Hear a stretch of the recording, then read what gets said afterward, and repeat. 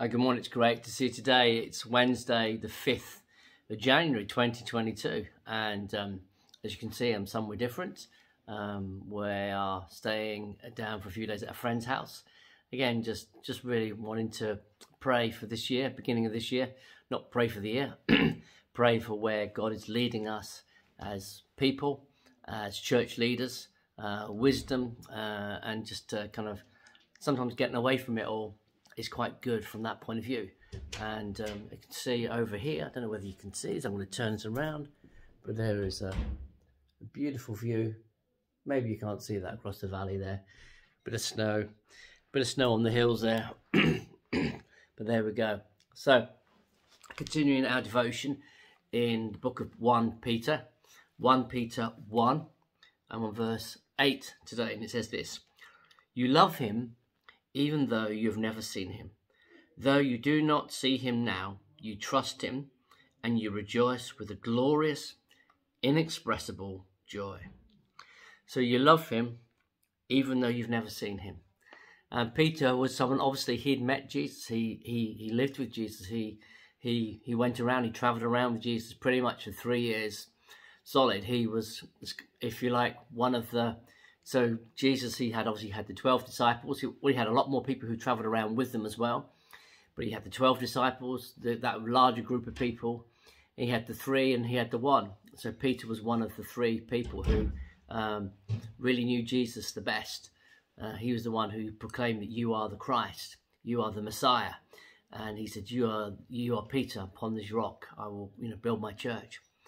So um, the one, of course, was John, who was... Uh, who wrote Revelations and the Gospel of John. And he says, You love him even though you've never seen him.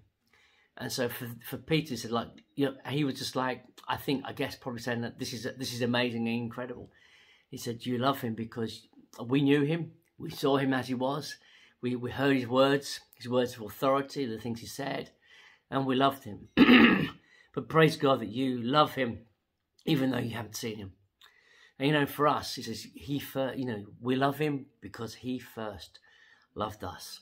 He first loved us. Even though, even though we're sinners, even though we fail, even though we, we fall, even though he says at one point we were his enemies, we were far off. He first loved us. And so now we love him in response to that love.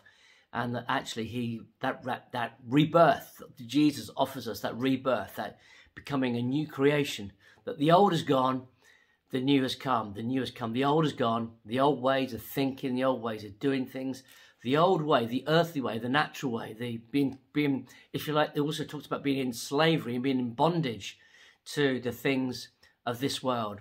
But in Christ Jesus, we are no longer slaves. We are children of God. We've been adopted into his family. So we first, excuse me there, we love him because he first loved us. Though you do not see him, you trust him. And this is an amazing thing. We, you know, this is this is faith. Faith is that we're, we're believing and trusting in Jesus, even though we have never seen him.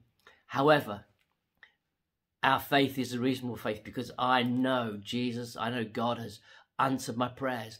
I have felt his presence. I've experienced his healing. I've experienced his touch upon my life.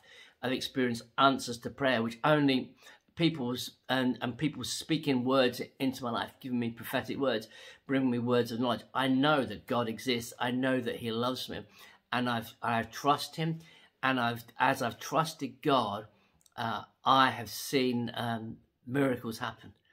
Praise God for that. and if you trust God today, you will see miracles. We talked about this. We sang a song "Champion" on, on Monday night at the prayer meeting. Again, another powerful time. If you if you're able to get to our prayer stroke revival meeting on a Monday night, it says it says miracles come out of your mouth. You know when we trust Him, because Jesus said this. He said, "Greater things than these will you do. Greater things than these."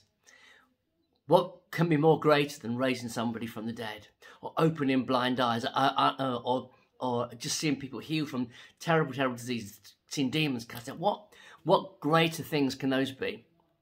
I don't know. I love the thing I was reading about Philip, about how Philip was one minute speaking to, you know, baptize the Ethiopian official, and next thing you know, he's like teleported to somewhere else. Um, I think that's one of those greater things. I would love to be able to do that. That would be, wouldn't that be so cool? And um, so it's a greater things, and these are for those who trust in the Lord. So let's be people who trust in God because God is still at work today. He's still on the throne. He's still alive. He's still able, more than able, to do all these things and willing for people who put their trust and faith in Him. The God, the God of the Bible, is still alive and well today and active in this world and wanting to use you and using you wanting to use me probably wanting to use us more than we want to be perhaps used by ourselves so let's just get let's just trust god let's believe god that god will use us today and in the days and weeks in 2020 in this coming year he said and you rejoice here we go that's that's that in verse 6 again to be truly glad there is wonderful joy ahead. You rejoice with a glorious, inexpressible joy. Even though you go through suffering, even though you're going through times of testing, that you rejoice. The natural thing will be to say, oh no, you're going through time of testing, just be miserable and just like wallow in self-pity.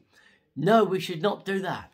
We should lift our heads up above the above the snake line. That's what Paul Fenwick says. Lift our heads above the snake line, above the above the circumstances. About even though the circumstances might not be good, lift our head above that and look to our Lord Jesus Christ and rejoice in Him. Why? Because He first loved us. He has saved us. He's He's written our our, our name in the Lamb's book of life if today you're there and you're thinking, well, I'm not sure whether my name is written in the Lamb's Book of Life, do you know what? You can you can be sure. You need to just invite the Lord Jesus to be your Lord and Savior. To say, Lord, make him Lord, make him number one in your life.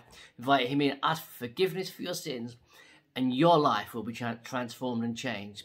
Um, and you you will trust him. Praise God, and you will be changed by him from one degree of glory to another. God is so good. Listen, hope you have a great day today. Take care. God bless. And I'll see you again tomorrow in Jesus' name. Amen.